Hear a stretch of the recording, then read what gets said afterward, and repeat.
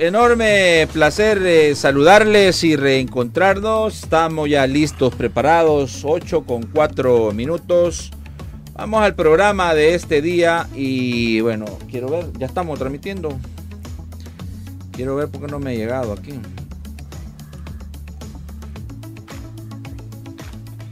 Sí, ya estamos. Gracias, muy amable. Ya. Bueno, miren, eh, vamos a tener un análisis de la semana muy interesante. Vamos, vamos a vamos a gravitar, por decir una palabra, en, en dos cosas, ¿verdad? Bien puntuales vamos a, analizar el contexto de Nicaragua en paralelo con El Salvador, ¿verdad? Porque Daniel Ortega desterró a 222 nicaragüenses, le quitó la ciudadanía porque dijo de que eran la nacionalidad. Sí, la nacionalidad. La nacionalidad, eso, perdón. Sí, perdón, eso. Porque los acusó de traidores de la patria, de incitadores, de desestabilizadores pero no, no es, el tema es de que supuestamente esos presos, allá sí, confirmadísimo que son presos políticos, pero aquí dicen también que hay presos políticos. Yo recuerdo que tú, Betty, dijiste que aquí lo que habían eran políticos presos. Políticos presos, políticos corruptos. Ajá, correcto. Entonces vamos a analizar en, definitiva los, los, dos escenarios, ¿verdad? Y bueno, también aprovechando al doctor Carlos Acevedo, la situación internacional, porque ha habido una queja constante, de hecho apareció don Mauricio Chusí, lo viste en una entrevista esta semana, ¿verdad? Sí. Bueno, eh, planteando unos escenarios no tan... Rosados. Sí, correcto, pero de todas formas, fíjate que parece ser que hay una insistencia en el que no se, no se quiere, no se quiere como reconocer que esta situación no tanto depende de El Salvador, ¿verdad? Sino que viene desde afuera. Pero muchos dicen es que hay, que, hay necesidad de, hacer algunas correcciones en el país o algunas políticas para tratar de que esto no nos pegue tan fuerte. Yo creo que desde hace rato se viene se vienen tomando decisiones aquí en el país, pero las vamos a analizar para tratar de bueno entender si verdaderamente eh, lo que plantean algunos colegas tuyos, eh, Carlos, con esos escenarios un poquito adversos, eh, pues, ¿qué podemos esperar, verdad? Eso es lo que, lo que en general vamos a... Y lo que se desprenda precisamente de, de, de estos temas que, ya les he planteado, ¿verdad? Doy la más cordial de las bienvenidas a Betty Arana. Me estaban reclamando ahí que por qué no venías, ¿verdad? Y que no sé qué, y que no sé cuánto, todos tus seguidores. Sí, tan lindos, bien fieles. Bueno, este, vos sabés que, hemos hecho mucho esfuerzo para estar aquí porque estamos estudiando, ¿verdad? Una maestría. Entonces, eh, pero vos sabés que siempre que yo pueda, pues siempre vas a gozar de mi, de mi colaboración, ¿verdad? Así que muchísimas gracias a mis suscriptores también y suscriptores tuyos porque nos los compartimos, ¿verdad? Sí, sí, sí. Ajá, por ese apoyo que siempre me dan y bueno, aquí estamos esperando que nos den la sabiduría a Dios para poder decir las cosas como son y correctamente, ¿verdad? Sí, fíjate que quiero agradecer a la persona que por medio de ti me mandó un lapicero. Ah, sí, Mario, Mario Segovia. Mario Segovia, sí. Muchas gracias a don Mario Segovia porque verdaderamente, pues mira, se toman el tiempo, ¿verdad? Eh, realmente es por el cariño que le Me lo fue a dar hasta el Congo, fíjate. Sí, yo también quiero agradecer a, ayer me llevó alguien un regalo a la oficina y bueno, uno lo agradece de verdad porque, porque uno no anda pidiendo, fíjate, uno no anda pidiendo, pero la gente por el cariño le expresa de esa forma y lo agradecemos. ¿Y viste que tenía una lucecita el lapicero? Sí, sí, porque es para cuando estás haciendo alguna presentación, ¿verdad? Bueno, interesante Betty que estés aquí con nosotros. Yo como te lo insistí claramente que tú eres parte de, las cosas como son, el análisis semanal. Y bueno, gracias porque a veces también colaboras en, el programa de las cosas como son. Y lo hago con el mayor de los gustos. Sí, y tengo una sorpresa, yo te voy a decir qué va a hacer. Vamos a, vamos a, vamos a pedirte que nos colabores porque, porque veo que, pues sí, que, que, mira, es tu autenticidad, la verdad que no les gusta a algunos, ¿verdad? Muy pocos. A los, a los cuadrados no les gusta. Exacto, pero es tu autenticidad y es también tu forma de ser muy, pero muy peculiar, natural. exacto, natural, que no, que, que, que, siento que a la gente también le, le, le, llama la Y por eso ya tengo 11 mil suscriptores. muy bien, te felicito. Gracias por estar con nosotros. El doctor Carlos Acevedo con nosotros también esta mañana. Damos las gracias por estar aquí. Gracias a ti, Natanael, por la amable invitación. Un gusto estar de nuevo aquí con, con, Betty. Yo pensaba que estaba escondida ya recuperando el lago de Coatepeque. pues ya lo declararon, declararon zona protegida. Eso estaba bien, una buena decisión. Sí. Sí. Pero porque sí molestamos bastante. Y con el colega y tocayo Carlos Nacerdamos, ¿verdad? Nacerdamos. Ah, por Notre Dame. Y un saludo a la audiencia regada por la galaxia. Sí, así es correcto. Y a Don Tiber, que nos trae estos suculentos desayunos siempre. ¿Ya desayunaste, Carlos? ¿Te gustó? Sí, como siempre. Con el terremoto de Turquía me estuve acordando yo de las palabras de Nasser. Sí, ¿verdad? Ajá. ¿Verdad? ¿Lo digo aquí? Sí, sí. ¿Lo dijiste aquí? Sí. Sí. Sí, él fue lo primero que se me prendió el foco. Ay, Dios santo bendito, ¿verdad? Bienvenido, doctor Carlos Nasser. Bueno. Bueno, te quiero decir que eso de Nacerdamos ya me está dando miedo. A mí. No, porque no me gusta que me digan así tampoco. tampoco. pero la gente dice las predicciones del doctor Nacerdamos para este año. A mí me dice Pitonito. Bueno, buenos días, un gusto siempre estar aquí, José. Y agradeciendo pues a la radio que siempre nos da el espacio, don Manuelito Flores, un saludo. Y a la gran audiencia que tiene el programa, la gente que siempre está pendiente y llegamos gracias a Dios a tiempo porque esto está terrible. El tráfico sábado baja un poco, pero 10 semanas yo dije hace dos años en la radio que la capital iba a ser un mega parqueo porque ya no se mueven los carros. Como que están estacionados en la calle. Ya no sé, yo lo dije que era un mega parqueo. Es terrible, así que hay que ver si hablamos de eso. Creo que hay algo que mencionar con algunas propuestas que tienen. Así que un gusto estar con Carlitos y Betty y Nelson como que se sintió mal. Sí, fíjate que a último momento él se excusó y, bueno, me imagino que compromisos. Aunque tratamos siempre de mandar temprano la convocatoria, pero no hay problema. Cuando el doctor disponga, pues aquí estaremos. Eh, quiero saludar al doctor Julio Valdivieso, siempre está con pendiente con nosotros. Regresa mañana porque está en Panamá. Mm. Está dirigiendo un proceso por un litigio con, con, unas empresas. Internacional. internacional. Entonces estaba en Panamá. Ayer me mandó un videito. Hey, no voy a poder estar, saludámelos ahí a todos, pero porque ando en Panamá, me dijo. Así es que, pero esperemos que en los subsiguientes eh, eh, días vengan, ¿verdad? vengan con nosotros. Y saludos al doctor Nelson García también. Bueno, ¿nos vamos o hacemos corte? No, corte. Entonces, vamos a hacer el primer corte. Regresaríamos ya para el desarrollo de los temas que hemos planteado y los que se desprendan eso del tráfico, creo que también bueno, no sé cuáles son podemos tocarlo. Eh, regresamos, no nos cambien. Les voy a contar. Bueno, de regreso, gracias. Eh, empecemos si gustas, Carlos, contigo. mira, eh, no sé si pusiste mucha atención a lo que dijo Mauricio Chusí. Aunque muchos consideran que Mauricio Chusí es una voz desde el punto de vista de los análisis de las consultorías que hace, entiendo que como que también tiene relación con estas calificadoras de riesgo, por lo que me comentaron por ahí. Bueno, fue director de Fitch para El Salvador. Ah, bueno, pero creo que yo no sé si continúa o ya no. No, no ya no. Pero viste los escenarios que él planteaba, no, no tan favorables para nuestra economía, ¿verdad? y también para en general para el mundo. ¿Qué te parece? Bueno, yo la verdad es que no lo vi directamente en el programa. Quiero, verlo porque siempre es interesante escuchar a Mauricio Chusí. Eh, con él nos reunimos a veces a, desayunar ahí en la San Martín y, platicamos. Ah, muy bien. ¿Es tu, es tu chero? Sí, pero no, no, lo, no lo he escuchado esta vez, aunque lo voy a escuchar. pero vos sabés más o menos cómo él piensa. Sí, y he visto, digamos, algunas de las transcripciones de cosas que dijo.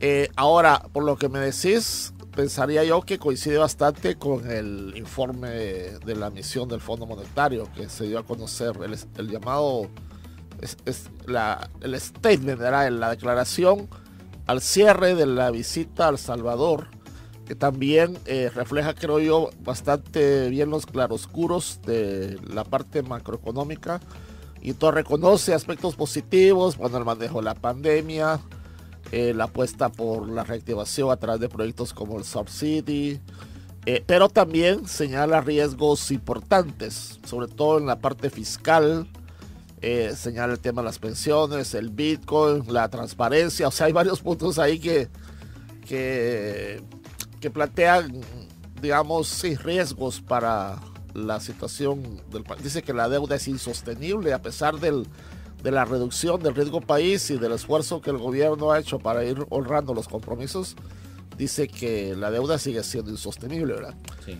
Entonces, me imagino que el análisis de Mauricio Chucía debe haber andado más o menos por ahí, ¿verdad? Sí, por ahí, fíjate, y también plantea un panorama muy desfavorable respecto a eh, eh, la inflación en El Salvador, el alto costo de la vida y eh, esto en detrimento, por supuesto, de, la economía de la familia salvadoreña, sobre todo aquellos un poquito más, más, más vulnerables. Sí. Ah, no sé cómo, cómo lo ves. Bueno, eso ya, ya lo habíamos abordado antes.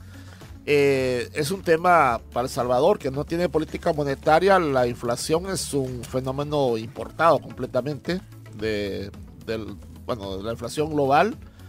Y de, en el caso de los alimentos que tienen una inflación que es el doble de la inflación, digamos, general. La inflación general terminó con 7% el año pasado. La inflación de alimentos terminó casi el doble, como 14, 15, y entonces claro, eso es lo que pega más fuerte a través del impacto de la canasta básica, le pega a los hogares de más bajos ingresos.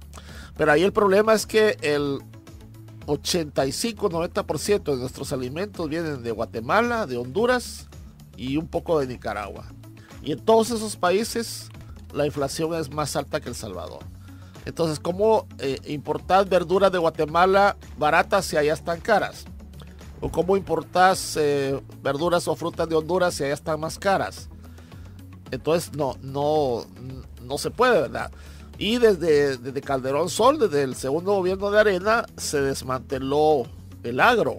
Entonces El Salvador ya casi no produce nada, ¿verdad? Eh, habrá algunos palos de limones por ahí, que además no es temporada de limones, entonces eso contribuye a que el, precio aumente, pero ya... Ya le llegó plaga, ya, ya no dan. Te digo por experiencia, tienen ah, una plaga que se llama dragón rojo.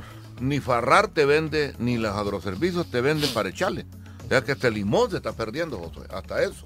Pero una cosa que yo... No, ah, no, creo que es bueno tu aporte porque vos estás ahí en el campo y conoces bien la realidad esa. Mira, Algo que yo quiero abonar. Y Betty también. Sí, no, yo es de la experiencia de Fíjense de que yo siempre ando buscando los mejores precios en cada lugar, ¿verdad? yo te iba a preguntar, Ajá, a eso, así como mujer y como madre, siempre ando buscando, pero miren, hay súperes, debería de haber un equilibrio en los precios o un tope, porque hay súperes que, por ejemplo, yo como yo como yo compro comida de gato, no es que yo me la coma, yo compro comida de gato, pero en un súper vale allá en el Congo 3 dólares, en el mercado se encuentra 3, 3.23 pero hay súperes en Santa Ana que se encuentra a 360. Imagínense la diferencia. la misma marca y todo. No, la misma marca, pero en diferentes súperes. Sí, claro, Entonces, ajá, En, el, en el mercado hay lugares que se encuentran a 3, a 310, 323. Pero yo me quedé sorprendida ayer porque compré en ese súper y me quedé sorprendida que los allí es súper caro. Es súper caro, pero la comida de gato había una diferencia de 40 centavos. Y regreso al Congo y la encuentro otra vez a 3 dólares. Entonces, yo siento que la DPC tiene que jugar un papel más, más de atención a esto, porque sí hay una, una, un incremento de precios en diferentes lugares y como que no hay una vigilancia verdadera que, que pueda ponerle un stop a esto. Ahora, control de precios no hay, ¿verdad, Carlos?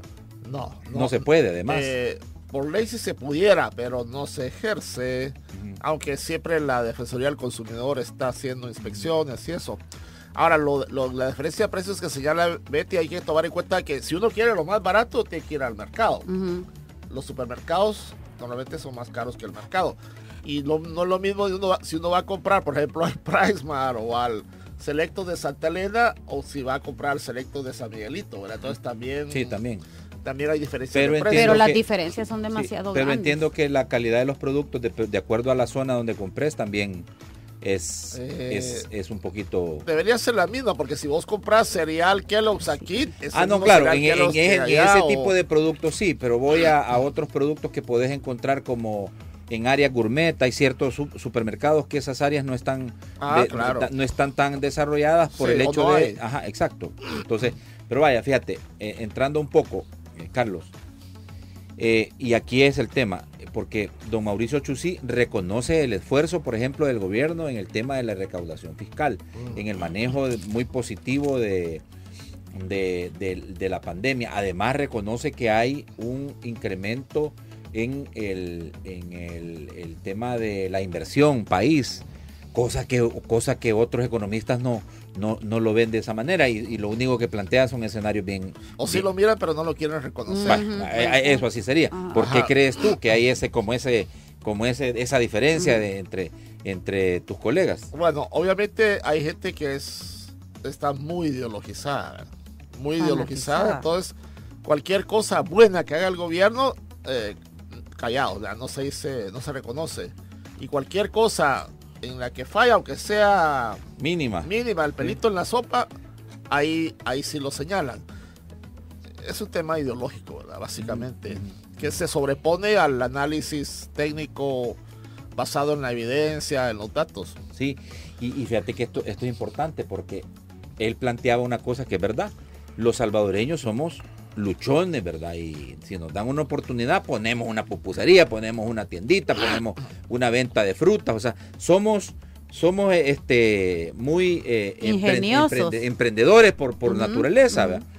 Y esto de, la, de, los, de los niveles de, seguridad, el hecho que ya no estés pagando extorsión y todo lo demás, está motivando bastante eso. Lo, lo, lo, lo, lo, lo, estás tú observando. Sí, bueno, eso es algo, uno de los aspectos positivos que reconoce también la declaración de la misión del fondo. Dice la reducción sin, sin precedentes, sin nunca había ocurrido de los homicidios a partir del, del estado de excepción que a su vez dice puede ayudar a levantar las tasas de crecimiento económico. Eso es muy interesante, lo reconoce el, Fondo Monetario también. Sí, bueno, el escenario internacional que no depende de, El Salvador, ¿verdad? Totalmente. Pero sí está afectando, Carlos, el escenario internacional adverso. Totalmente, o sea, somos un barquito en el océano de la economía mundial, ¿verdad? Entonces, si hay una tormenta en el océano, nos vamos. Nos vamos ahí en la tormenta. Sí, yo quisiera, fíjense, aprovechar porque también el, el doctor Carlos Acevedo lo acaba de mencionar, es el tema de la agricultura si nosotros prácticamente no estamos produciendo, pues si eso, si hace un año y medio que empezó este relajo, en noviembre de 2021, que empezó este relajo y ya se, ya se aplicaban las medidas económicas, este, yo creo de que dentro de eso muchos lo recomendamos. Yo creo que también, vos, también creo que lo recomendaste, lo de la reactivación del, de la agricultura, ¿verdad? Y la ganadería. Y tristemente, a la fecha, pues no se han visto mayores esfuerzos, ¿verdad? Otro punto a destacar, siento yo, es que aparte de que por un lado el presidente Nayib Bukele logra las medidas económicas, pero los alcaldes están subiéndole a los impuestos en todo. Entonces, la gente, por ejemplo, en los mercados que han sido afectadas con lo con el incremento de impuestos, ajá, imagínate, ellos es una es una cascada, La gente que ha, sido afectada por los impuestos, también ellos le suben a los productos y, obviamente afecta la, la, canasta familiar. Sí. Eh, este Sí, vos, vos dijiste, Carlos, que hay que apostarle a la reactivación de la agricultura. Eh, hay que apostarle también a... Mira, y esto es importante, fíjate. Digo, debería de haber quizás un acercamiento más grande entre el gobierno y como ha ocurrido ahorita, fíjate, el gobierno y los sectores, por ejemplo, como la banca, eh, Carlos. Los sectores productivos del país. Fíjate que me alegra porque ayer anunció, me alegra porque yo lo potencié. Me alegra. Ayer el director de migración, eh, Cucalón, anunció que ya las aerolíneas no van a estar cobrando por llevar pollo frito eh, para, para, sí, se pasa, porque no está, no, cómo puede ser que estén maltratando a sus clientes, hombre. Si llevar una cajita de pollo es nostalgia, ni agua. No, no se puede ser. Y yo diría que el señor Cucalón debió haber ido más allá, por lo menos que le den una botellita de agua y una galletita, porque hoy hasta eso les cobran. no se puede, pero me alegra porque ya el señor Cucalón anunció que habían, habían llamado a las aerolíneas y le habían pedido que por favor no les cobren. Es la importancia de la denuncia, Nathan.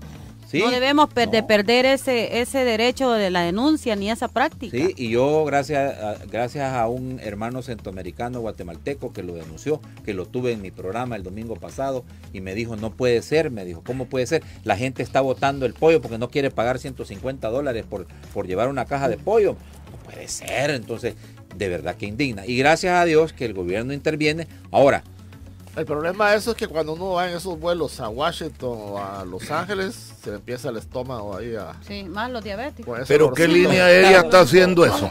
Avianca. ¿Cuál? Avianca. Avianca. Yo cuando he viajado, yo nunca he ocupado líneas aéreas centroamericanas, solo cuando iba a Costa Rica, Panamá. Yo siempre he viajado por American Airlines y United. Siempre me cayó mal taca toda la vida porque son una sinvergüenza. Mira, una galletilla te dan y un cafecito. Es cierto. Pones así en las otras líneas aéreas americanas. no, hombre, mira, me dan vino hasta 10 veces lo que yo quiero. No, es cierto. No es cierto. Entonces, mira, ¿cuál es la diferencia de agarrar una línea? Sí hay, sí hay ciertas ventajas, porque de aquí vuelo directo a Washington solo con Avianca. Pues por eso, no. Pero por eso mismo, Carlos, deberían de, pues sí, tratar bien al Pero no, es pues. que esa es la mala costumbre y la mala crianza. el usuario tenemos de estarse lucrando de la necesidad de la gente. Pero qué bueno, qué bueno, digo yo, que ya no lo van a hacer por el acercamiento. Pero mira, Carlos, vaya.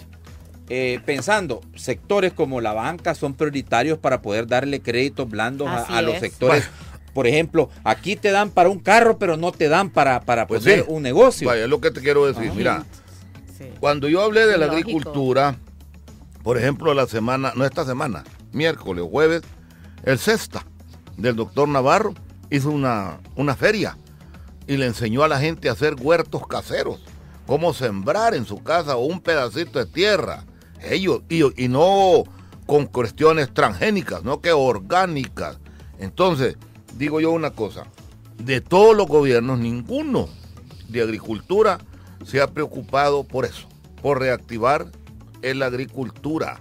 Yo he dicho, hay más de 4.500 hectáreas, Carlitos, perdidas en la zona oriental, en esos cerros. Miren, hoy que viene el invierno, hay que ir preparando eso. Mira el ganado. Eh, bueno, yo no sé si Van de Sal prestó dinero para reactivar la agricultura. Yo no sé. O, otro banco, el Banco Agropecuario, que precisamente para eso fue creado. Eso es lo que menos tiene el Banco de Método Agropecuario. Pero las pandillas ahí eran parte del problema. ah, es correcto. Pues se supone que hoy que van a haber menos pandillas, ya se, o ya están, se puede reactivar la agricultura. Mira, en el campo la gente necesita está pidiendo a gritos que se le dé oportunidad de sembrar. Si el campesino nuestro está acostumbrado a eso, José. O sea, si reactivamos la agricultura. Y ellos, se rebuscan, los campesinos, se meten en una Para el maíz, para, frijoles, para sembrar. Mira, siembran cacahuete. Yo he visto todas esas plantaciones. Si el único negocio aquí que se mantiene rentable es la caña de azúcar. ¿Quién es el dueño de la caña de azúcar en este país? ¿Quién es el que maneja esas grandes cosas? Vaya, entonces, reactivemos el maíz, el frijol, cacahuete. Mira, eh, hoy siembran otras cosas que uno antes ni se imaginaba, la chaya, el, la jamaica y todo eso. Ahora, en las zonas altas, allá en las pilas en Chalatenango, los repollos, los apios. hay tantas cosas que las fresas. En los planes de la laguna hay muchas whisquileras. Y, mucha gente se metió a hacer eso por años, que las calles ni servían en las calles. Hoy son buenas calles para ir allá.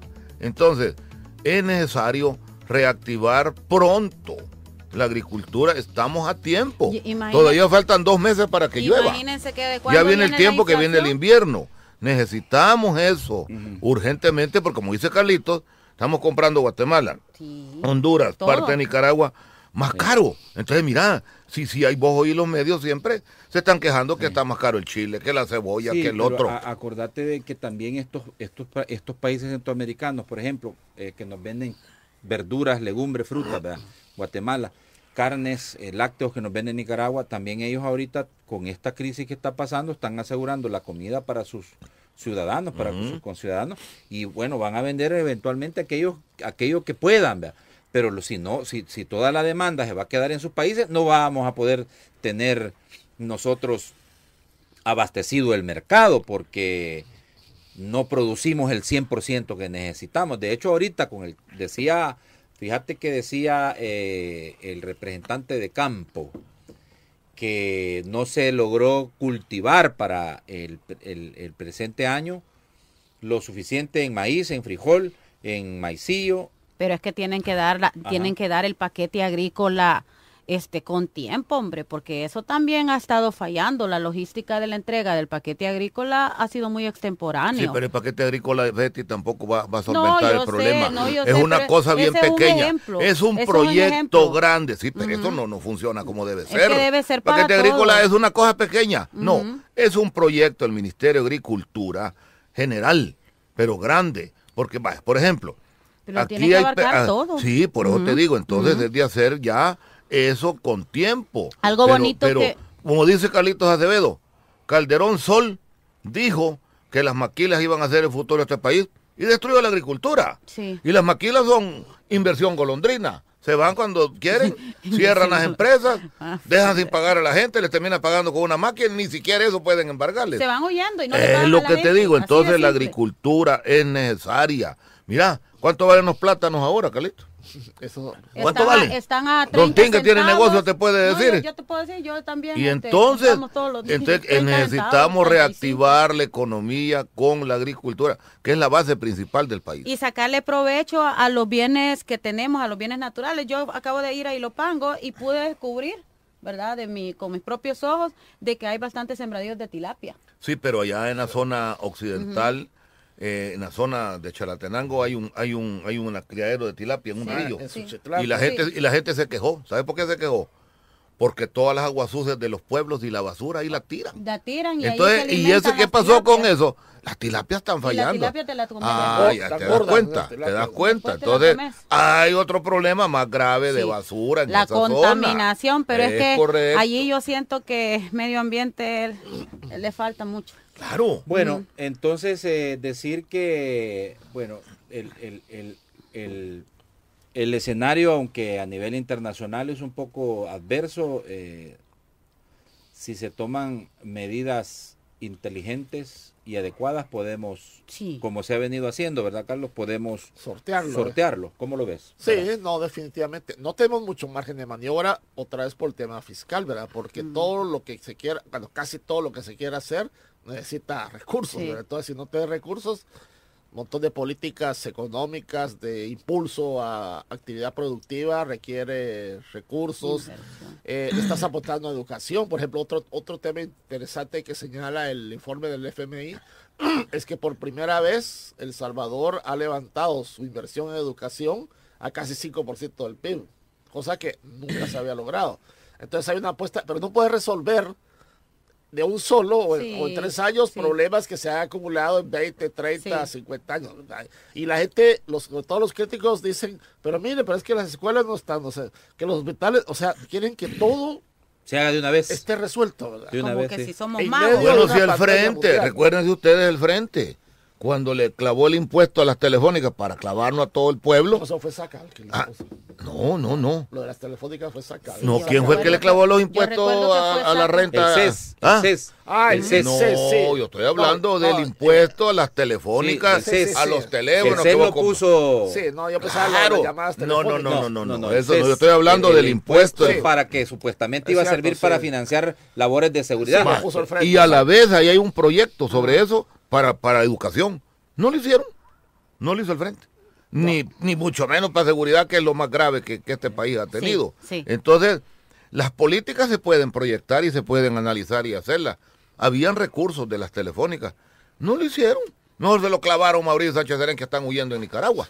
Entonces, ese es el punto. Ahora, e, e, ese es el problema. a pues, ellos los hubieran expulsado. Bueno, el montón de gente que deportó Ortega, ¿por qué no nos manda esos sinvergüenzas para acá? Lo mismo dije yo Ah, ya viste. Lo mismo dije ayer. Ya vamos a hablar de eso. Ya vamos a hablar de eso. corruptos de nosotros. No, si no lo van a bueno, nunca. Eh, el escenario, entonces, para ir un poquito aterrizando, el escenario no es tan favorable internacional, bueno, pero, pero eh, se puede. Yo solo quiero aclarar algo, lo que decía Carlitos eh, Acevedo de Mauricio sí que somos muy amigos como él. Y Mauricio siempre ha sido bien objetivo en sus planteamientos, pero reconoce bastantes cosas buenas. Y lo que él está diciendo es la avalancha que se viene internacionalmente este país. bien ocupaba el término y, el modelo, el ejemplo, Carlitos, de estar en un océano de barco y nosotros una lanchita. Se nos lleva también. Entonces, ¿qué pasa? eh, Mauricio ha explicado bien la realidad del país, pero no es, no es de aquí, sino que es internacional. El gobierno tiene que ver cómo va a paliar esa situación y lo está haciendo. ¿Cómo la va a enfrentar? Y, sobre todo cuando tenés economía dolarizada, Carlos, porque mira, ah, pues ¿cuál dicen muchos es el, el tema de la hegemonía y sobre todo el mantenerte amarrado de parte de las potencias como los Estados Unidos, es que la economía, tu economía esté dolarizada, porque ellos son los dueños de los dólares.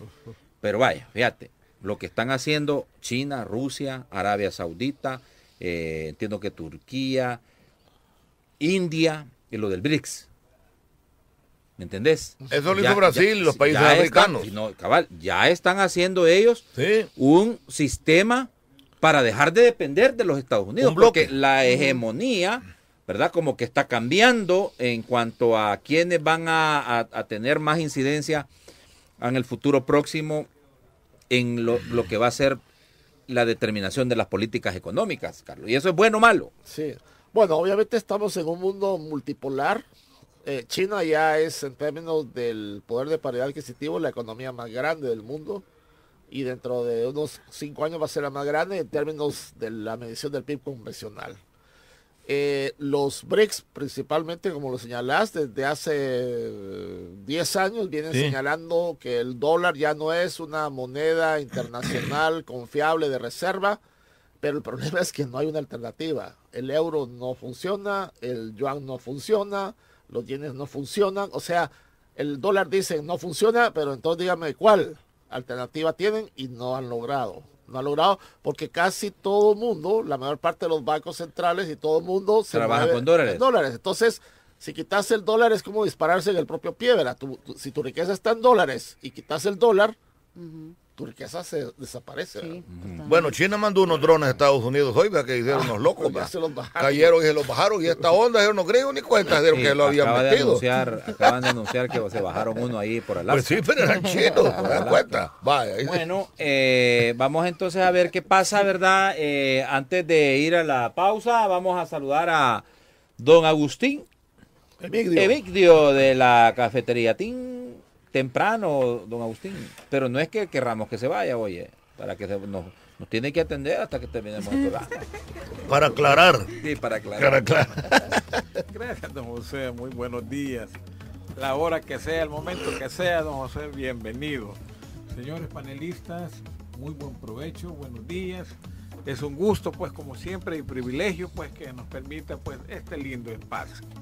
Señores, Cafetería Team, pues, como siempre acompañándolos, nos han permitido durante 51, 52 años pues, estar con ustedes en cualquier época, cuántas cosas hemos vivido y ahorita pues queridísimos amigos que estamos en esta época del amor, pues, de la amistad, de compartir, pues, de estar bien con quien uno se siente bien, pues queridísimos amigos, pues nuestra cafetería, pues, en eso se ha manifestado siempre. Pues, se ha especializado siempre. Sí, al grado pues que llegan infinidad de parejas pues que ahí se han conocido, pues hayan convivido, llegan hasta con los nietos y todo, pues ve así.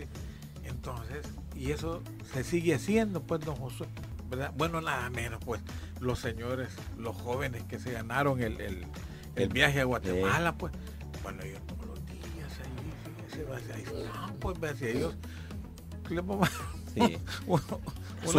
pero su fidelidad fue recompensada. Y bueno, este fin de semana, previo al, día del San Valentín, va a haber promoción, ¿verdad? Claro que sí, don José. La comenzamos desde el día de ayer. O sea que hay que hacer la reserva ya. 12, 13 y 14. sí, gracias a Dios, pues verdad, sí.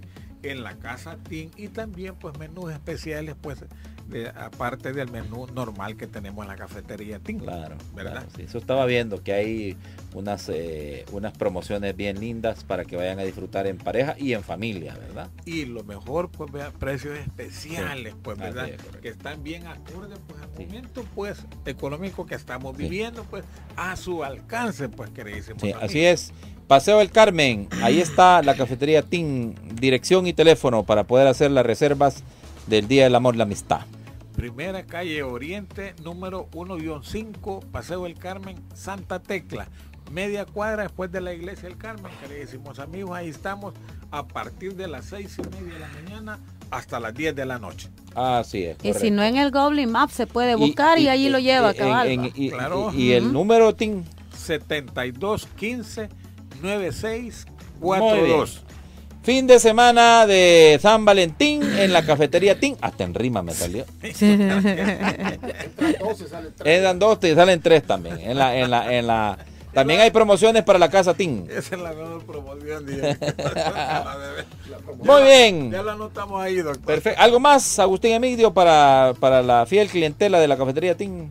Bueno, a compartir, queridísimos amigos, pues las nostalgias, pues esos momentos bellísimos que se han vivido, pues nosotros ahí es un gran gusto recibirles. Pues. Así es, correcto. Muchas gracias. Repita el número, pues. 7215-9642. Por favor, llámenos y serán bien atendidos como siempre. Correcto. Nos vamos a la pausa, regresamos con los presos políticos de Nicaragua y los eh, del Salvador. los políticos presos del Salvador. Ah, correcto, Bueno, de regreso. Gracias por continuar en nuestra sintonía. Miren, lamentar, ¿verdad?, el trágico accidente que se registró esta madrugada donde cuatro personas fallecieron. Vamos a hablar un poquito de los accidentes de tránsito porque vuelvo, insisto, la gente no entiende ni aunque van a pagar 150 dólares de multa, los van a amparar a la chironda. No, la gente no entiende, la verdad es que es lamentable. Ya estaremos hablando un poco de este accidente porque fue en la madrugada, cuatro fallecidos increíble. Habían consumido alcohol. Sí, sí, eh, lo más seguro porque se fueron a enterrar en, una rasta. En ¿Dónde fue eso? Fíjate que ahorita te comento. Fue en... Eh, ahorita te digo, ya, ya te doy la información. Pero una de esas rastras que se estacionan ahí sin luces, ni señales, ni nada. Fíjate que yo creo que no fue así. No. Pero te voy a dar, ¿verdad? Eh, cuatro personas fallecidas y con lesiones graves otras tantas, fíjate. Ocho. Sí, eh, en la carretera que conduce a Sonsonate a Cajutla y se produjo cuando un cabezal y su remolque salían de un predio de la zona. Eso también es típico. Cuatro entre Iban saliendo de un, parqueo de ellos y el pero también el carro que velocidad iba. ¿Y qué horas era eso en la madrugada? Sí, pero es bien, es bien las fotografías son impactantes. ¿Por qué no llevan las luces altas, van despacio, pero nada Yo no entiendo cómo es que se da este asunto. Parece ser que que como que la rastra va saliendo y venían a excesiva velocidad en la camioneta y se van a detener en la parte trasera de eh, la, rastra. Sí, ya saliendo la cola. Sí, ya saliendo la ah, Pero imagínate, una vez me pasó eso a mí, hace poco aquí en Comalapa, un tipo así salió. Pero yo venía con el jeep y el mío tiene los cuatro halógenos y yo siempre los pongo. Lo alcancé a ver quizás como a unos 50 metros, yo venía despacio. Y todavía le pité y el desgraciado me ha pitado la vieja a mí y se quedó a media calle, pues. O sea, es un abuso. La gente no entiende. Yo el jueves que iba para Santa Los buceros, microbuseros, la misma cosa. Sin luces traseras. No, no es Vamos a, vamos a platicar más adelante de eso.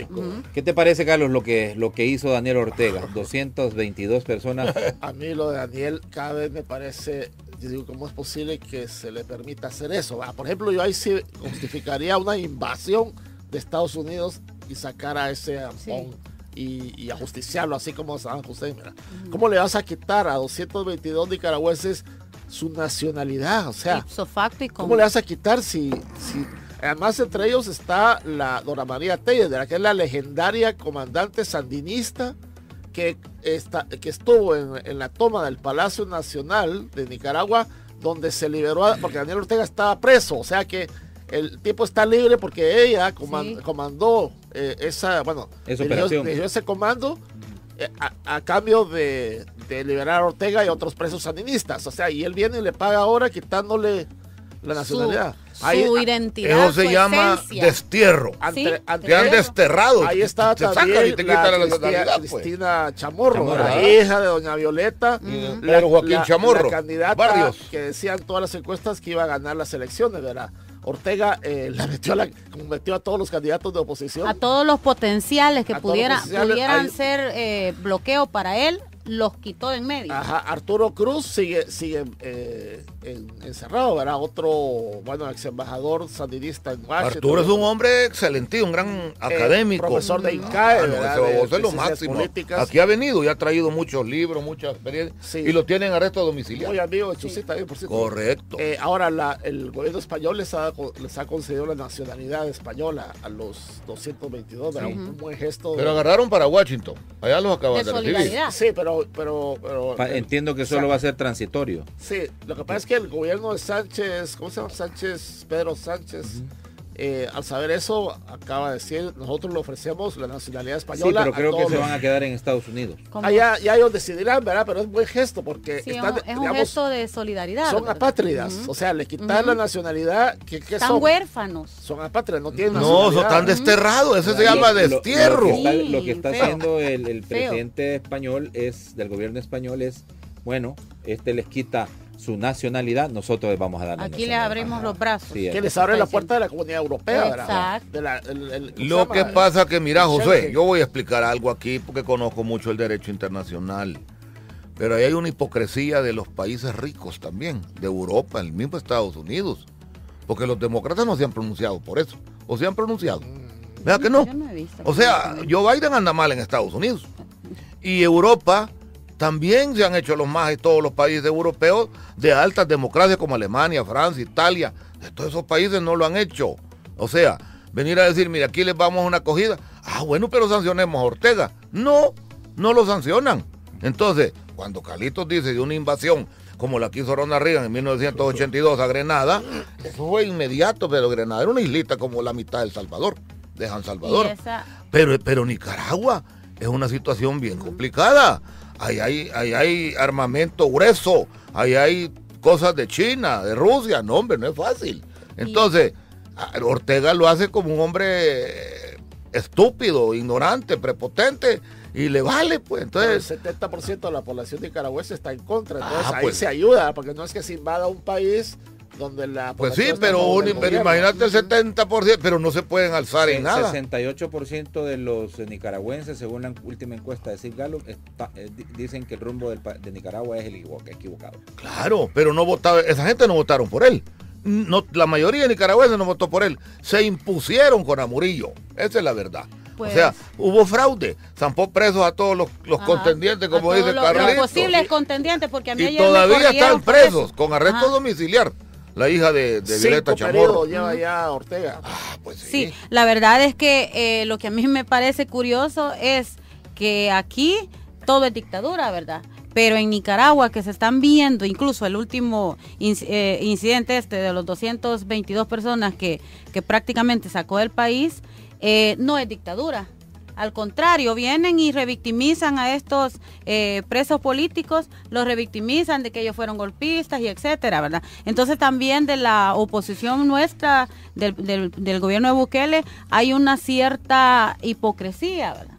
porque por un lado ellos están aquí hablando de dictadura, que la realidad de El Salvador es, es, totalmente diferente a la realidad de Nicaragua.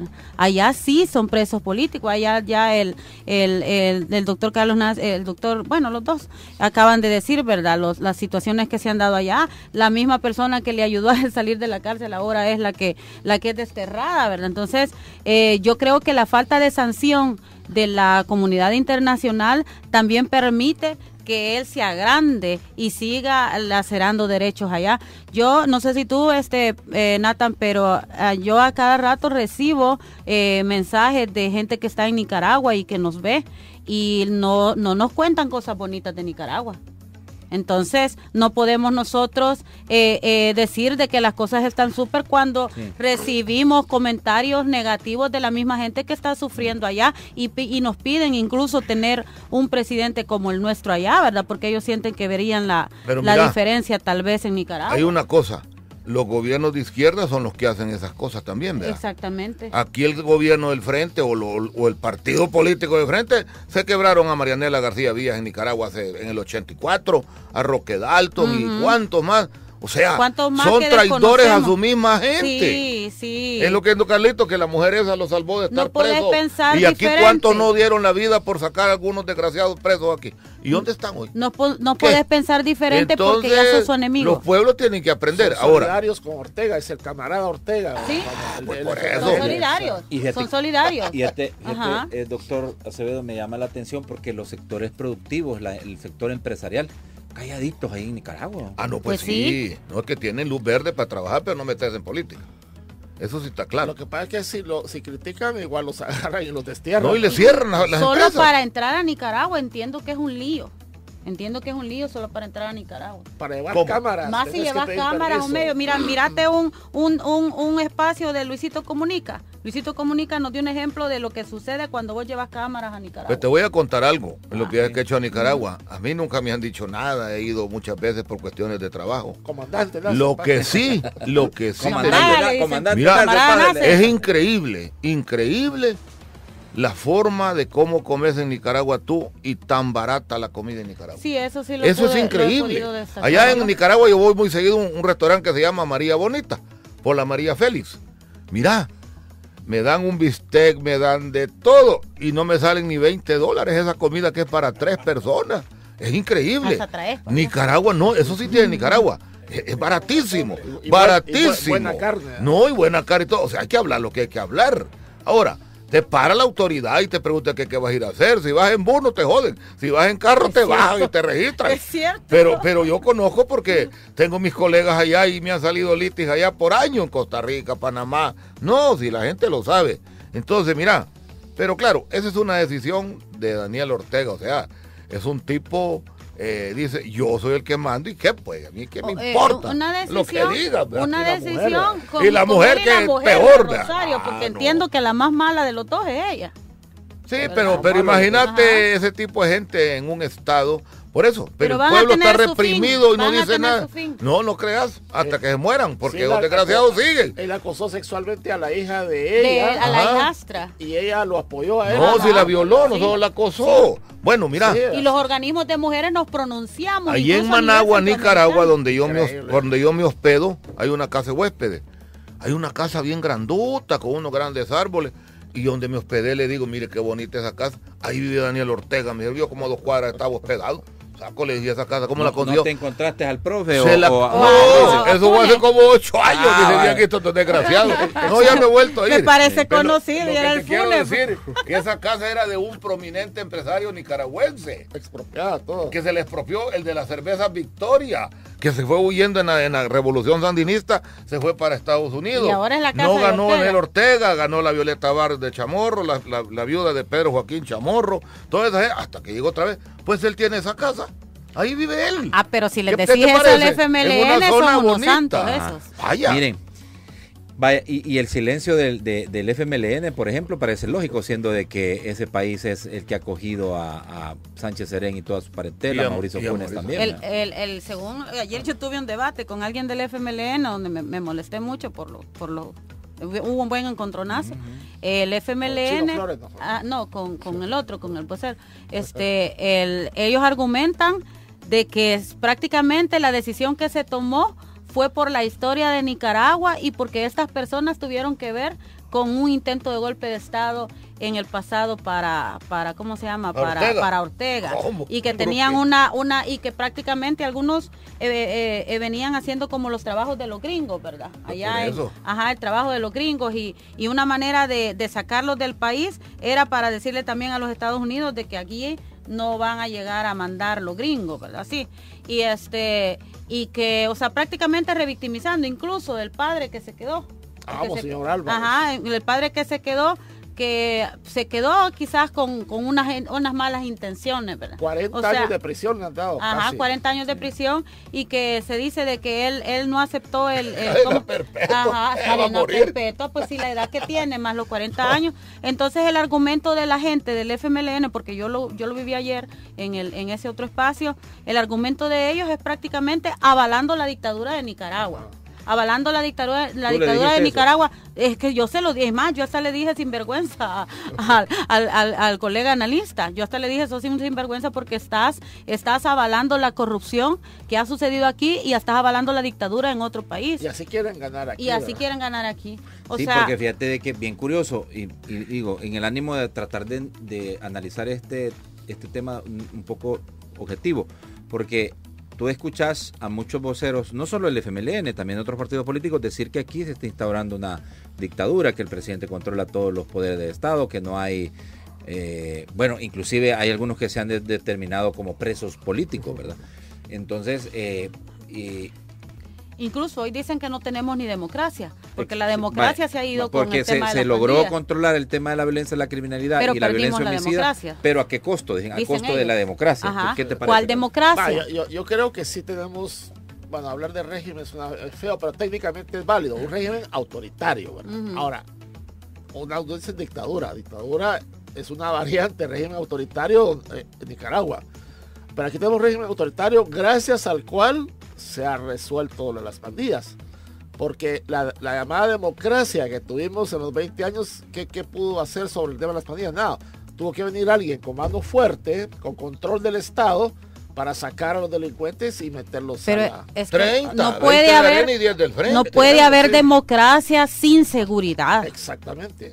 Entonces, eh, yo creo que se necesita la mano fuerte, ¿verdad? Correcto. Pero de ahí, por ejemplo, todos los insultos contra el presidente en las redes, eso en Nicaragua o en Cuba o en Nicaragua sería en Rusia, en Venezuela, incluso sería impensable. Aquí llegaron al extremo, aquí llegaron al extremo de andar en medios de comunicación y hablar de golpe de estado. Y en eso me siento yo con propiedad porque yo yo fui la que fue a la fiscalía a detener esa babosada. Porque si no, hasta ahorita, allí siguiéramos hablando, a saber cuántos anduvieran ya hablando de eso. Y eso no, pues eso era un, delito claro contra la, la, unión del país, pues de la sociedad salvadoreña. pero criticas aquí que hay una situación y, y avalás y lo allá avalás. de hacer de los pachos lo que está pasando. Es un doble discurso. En el caso del FMLN es lógico, allá está. Eh, muchos de sus eh, comandantes, bueno, y, todo lo demás. Ahora, eh, otros están en México, pues, pero que se han declarado eh, perseguidos políticos, Carlos. Sí. Ahora, yo creo que hay, hay, digamos, hay, un, hay un matiz ahí, es cierto. Por ejemplo, los, los cinco que agarraron, cuando agarraron a Carlos Cáceres, Violeta, Linda, Calixto, hay una cantidad de funcionarios aquí de todos los colores que se les podría acusar de enriquecimiento ilícito. Y los únicos cinco que agarran son del FMLN. ¿Qué te dice eso? ¿Por qué no agarraron de gana o de arena? Eh, entonces ahí sí ves un, sesgo. No, no es que la acusación sea necesariamente falsa, sino que con esa misma acusación puedes agarrar a una tanatada de otros funcionarios que no los agarras. Incluso gente que está en nuevas ideas. No vamos a mencionar nombres para no, mm. no el avispero, pero entonces ahí sí ves parcialidad, porque a unos sí y otros no. O sea, sos corrupto, pero sos mi amigo. Entonces, ahí no. Bueno, entiendo por lo que Entonces, a eso, se le, a eso se le llama una justicia selectiva. selectiva. Así es. Mira, entiendo por lo que por lo que platiqué esta semana con la diputada presidenta de la comisión especial que está investigando los dineros que se le entregaron a ONG, que van a presentar avisos en contra de gente de, eh, ahí podríamos ver lo malo ya lo, presentaron eh, en, contra de Lorena Peña. Sí pero vamos a ver eh, porque porque como tú decís del tema de, gente que recibió y que no ha podido justificar que ahorita está Eugenio Chica del FMLN también ya acusado pudieran venir más personas. Habría que ver si en ese en ese mismo problema podían encontrarse miembros de arena. En ese mismo requerimiento, acusación, bien dice Carlitos, hay gente del partido que todavía no le han tocado. Hay gente que, traen arrastre político de arena y del frente, ah, pues, ya se sabe. Pero van a salir nuevas, esperamos que así sea. Lo malo... Que se cumpla en realidad si hay corrupción, si hay eh, oculto. O todos en la cama o todos en el piso, pues igual para todos. Pero tiene que aplicarse la ley, pues hombre, si es que, y uno como no tenemos nada que ver, yo, ¿de qué pues me hablé? Pues yo no he hecho nada, ni he hueviado, apenas ando echándole gasolina al carro. Bueno, eh, por, mi trabajo. Por eso te digo, entonces, por eso te estoy diciendo. Pero, pero el que ha cometido delito, pues hombre, que lo sancionen. Ahora, si Ortega tomó esa decisión, por lo menos lo, que ya tiene ahí apadrinado, no lo va a tocar ni lo. ¿Qué diablos lo va a andar mandando? Mira, Sánchez, Serén y Mauricio ya se van a morir. Si Ortega se va, Ortega se va a ir, se va a ir poniendo de candidato y va a seguir ganando hasta que se muera. Hasta que se muera y ya está enfermo. Tiene Alzheimer y tiene otras babosadas, tiene hipertensión, tiene lupus. Entonces no va a durar otros ah, cinco pues, años. Ojalá se muera. Baboso ese va. Entonces te digo. Pero Mauricio anda atacando a Sánchez Seré también. Sí, Mauricio anda atacando a todo el mundo. Bueno, a usted también, ¿verdad? Bueno, dijo que, el, dijo que el chino Flores tenía cero posibilidades de, poder eh, este, tener éxito en una eventual candidatura presidencial. Miren, ah, lo que yo pero eso lo va a decidir el pueblo. Lo que yo critico, lo que yo critico aquí de este país es que se vende una, una falsa, un falso intento de querer atrapar a los malos, porque aquí les avisan. Ah. Les avisan, o sea, publican, lo voy a, lo, vamos a, procesar y le dan chance de que la gente se vaya hasta para Europa. No, ya no, a Mauricio sí le avisaron antes de todavía logró sacar unos cuantos chuches, ya no los sacó Todavía avisan. Se fue un furgón. Todavía avisan, y ya cuando ya están seguros de que ya llegaron al lugar, entonces inician los procesos. Entonces es más, es más la bulla, pues. Por eso ya ni me ilusiono yo cuando dicen, miren, que ya ni me ilusiono porque es más la bulla. Uno sabe que no. O sea, eh, es más, miren lo que hizo la Corte de Cuentas, llevó los procesos a la fiscalía, el aviso de los alcaldes. Ajá, ¿y ustedes creen, los alcaldes que saben que tienen la, cola pateada? Ya se fueron. Bueno, el de, pues el, de, el de la libertad se pegó un balazo. Primero mató a la mujer y después él, porque él ya estaba en jabón ya, lo tenían dentro de la lista que iban a procesar, tenía enriquecimiento, entonces dijo, bueno, me van a joder siempre, voy a quebrar esta voz y me pego el balazo yo también, pues. Eso es lo que hizo, ¿verdad? Porque, eh, eh, ¿Por qué mató a la mujer? Es problema de ellos, pero llegar hasta ese nivel significa que estaba pendiente de un proceso judicial. Así no me gusta a mí que les anden avisando. Vamos a... las investigaciones. Pobrecita la esposa, no se saben los problemas internos de ellos. Pero llegar a eso es grave, pues, eso es grave. La familia de la esposa, ¿qué dirá la familia de la esposa? No, hombre, eso no puede ser. Él, él lo hubiera hecho solito porque sabe que estaba jodido. Bueno, miren, vamos a hacer la, la Carlos, la pausa. Hacemos la pausa y vamos a analizar, pues, eh, tomando la palabra de, de, de, porque entiendo ya fue publicado en el diario oficial el paquete de reformas de tránsito, pero aparentemente pues no, no, no cala este volado. No, seguimos viendo rastras sin luces atrás. No, si, yo quiero hablar de eso algo. los motociclistas sin los chalecos. Bueno, vamos a la pausa, pues mm. regresamos. Sigue la transmisión en vivo de las cosas como son en Facebook. Arroba Radio YSK.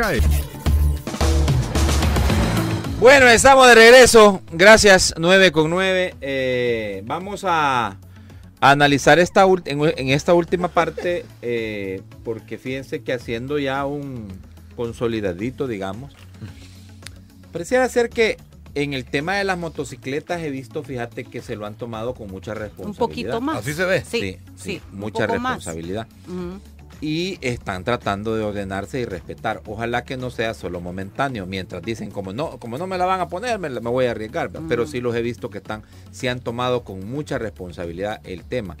Bueno, en el caso de, esa mezcla mortal de manejar y ingerir bebidas eh, embriagante, o a saber qué otras. Y drogas también, hombre, siempre lo hacen. Pues, eh, creo que va a costar un poco. Eh. Ah, es que los bolos son necios, Los, adictos son necios. Entonces, a saber cuántas multas le tienes que poner para que alguien ya sienta el, golpe, ¿verdad? Pero lamentablemente nuestra cultura es así, o sea, a fuerza de palo, bueno, el chiclito, ¿verdad? Uno aprende con los chancletazos de la mamá o con las varillas de que, les dan los chilillos. Los chilillos de la O como te daban en la escuela, cuando estabas un chiquito, ponga la mano con una regla. No, hombre, si no es que no, no, no, no entiende. Si así le dieron los profesores con una regla.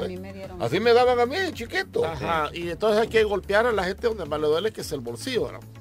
Por eso es que cuando la gente se va para Estados Unidos, ahí se, se hace respetuoso de las reglas de tránsito porque las multas son...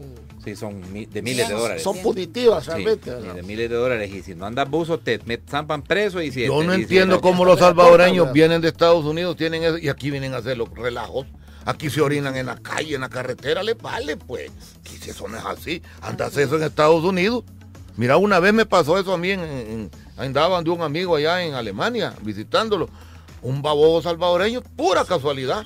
se fue a orinar a un parque. y el parque lleno de árboles de manzanas, melocotones, pero nadie, la, nadie las corta, sino que es adorno. ¿Sabía que le cayó la policía y lo que le digo? Mire, señor, venga para acá, los amparon presos dos meses y le pusieron multa. ¿Qué es eso, pues? ¿Y aquí por qué hacen eso? No, hombre, mira, y sigue manejando la... No, aquí mira, los microbuseros siguen en la misma. Los buceros siguen igual. los carros, las motos más o menos, vea, más o menos se están ordenando. Mira, eso que decir de los microbuseros, transporte público, ojo, hay que poner atención, siguen en las mismas. Es correcto. Siguen en las mismas. ¿No es cierto? Betty. Bueno, lo del te doy te doy toda toda la, el aval de lo que estás diciendo de los microbuseros porque yo uso el transporte colectivo todos los días y sé lo que es eso, ¿verdad? Siguen en las mismas, ahí no hay seguridad en nada pero yo les quiero comentar eh, una, una, cosita. Fíjense que eh, un muchacho que yo conocí desde chiquitito, eh, hace como unos cinco meses, él sufrió un accidente de moto y está en estado de vegetal. Y el día domingo que yo iba para el agua de Coatepeque, me encontré a su mamá, ¿verdad? Y íbamos hablando de esto de las multas.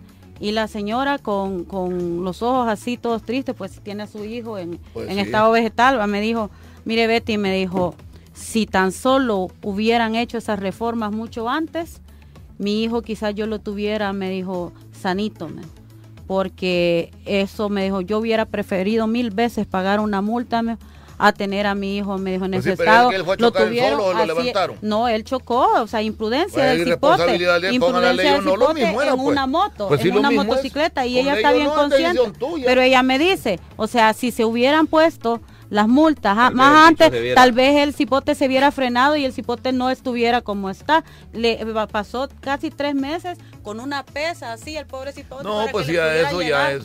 O sea, entonces lo que yo voy es que eso debería de, de considerarlo la gente que se opone a estas multas, a que se ordene, porque es más fácil pagar 150 dólares a que vayas a destruir tu futuro o, o, lo, o lo que es peor, a que te vayas a morir. Sí, pero es que ahí, ahí, ahí, juega un rol muy importante lo que dice el doctor, doctor Carlos Acevedo. El bolo es necio. El bolo, el bolo no piensa en eso. El bolo no piensa si lo van a ampar preso. Y más si anda bien, bien periqueado. En lo que piensan es en seguir en la parranda, pues, o sea. Mira, aquí, aquí hay normas establecidas que la gente se le olvidan.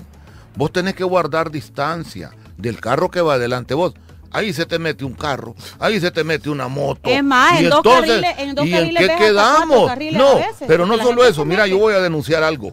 Aquí los colegios siguen haciendo doble fila. Ah, en la 25 Avenida Norte, aquí cerquita, allá abajo, Ahí hacen doble fila. En San Benito hay un colegio desgraciado. Eso es terrible. Entonces, ¿Por qué no han ido a, regular esas cosas? Mira. La británica Cuscatlán. Ah, en todo, la escuela americana. Ay, entonces, ¿por qué diablos no van a aplicar la ley? La gente sigue poniendo burros sigue poniendo barriles de aceite en las calles. O sea, los talleres ocupando nosotros, los predios para la reforma de la ley de tránsito y seguridad vial es buena que se va a aplicar. Ahora, el tráfico no se va a regular, José, porque no es para eso la ley.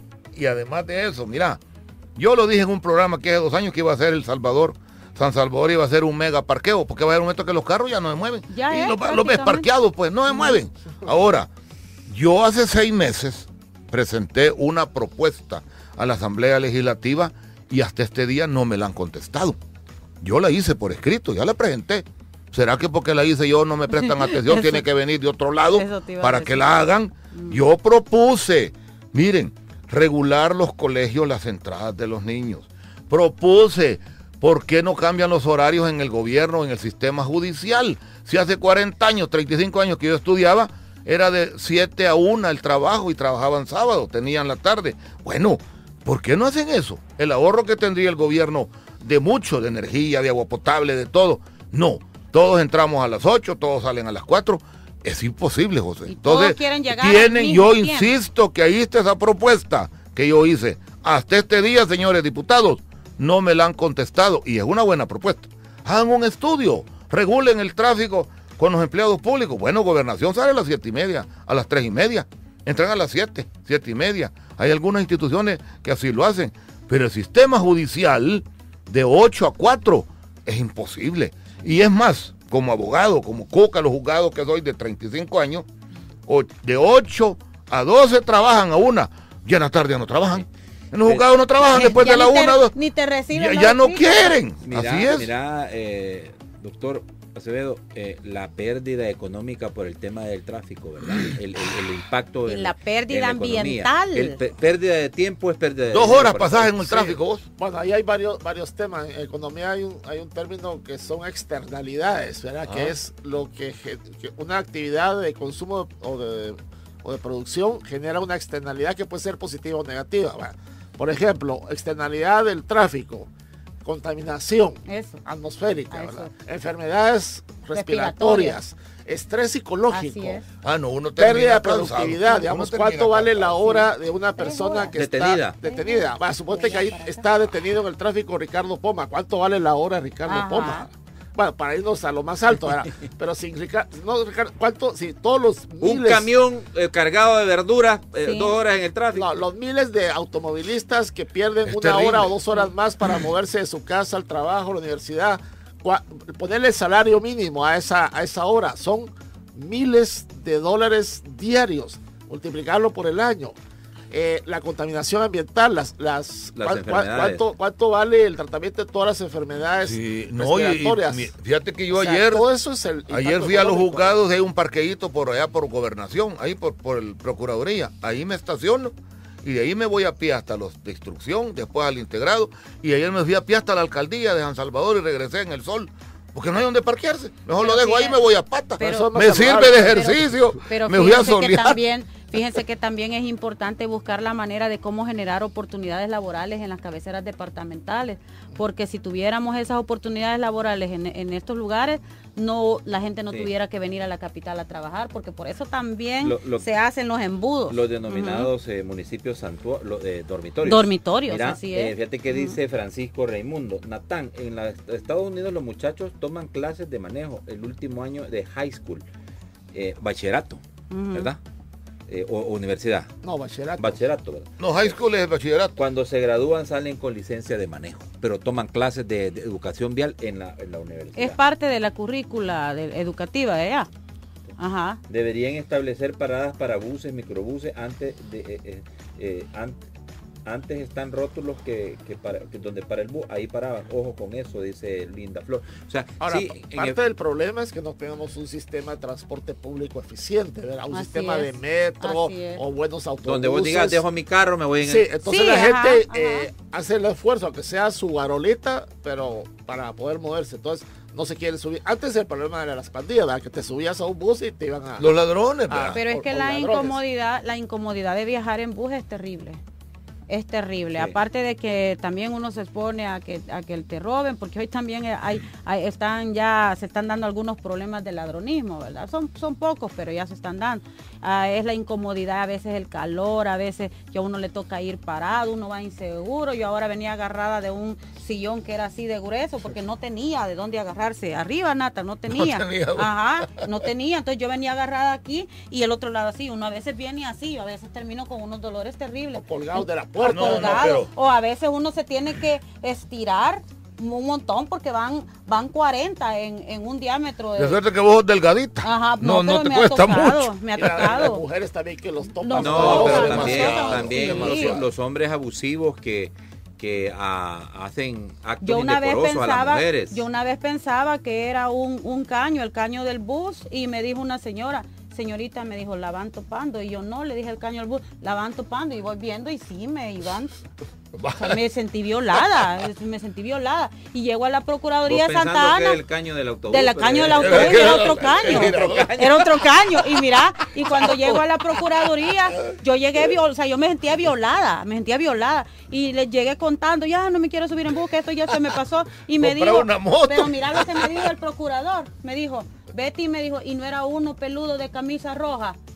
Sí, le dije yo. ya se lo podía todo el mundo, que solo pues. yo no. Ajá.